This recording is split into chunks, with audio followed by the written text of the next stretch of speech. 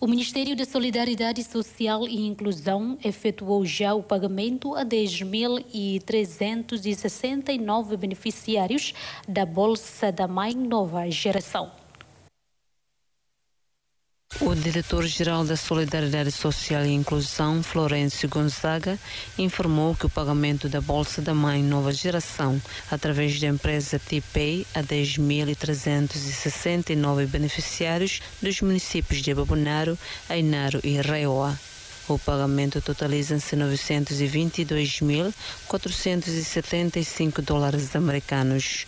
Já o Ministério da Solidariedade Social e Inclusão registrou 43.137 beneficiários da Bolsa da Mãe Nova Geração em todo o território.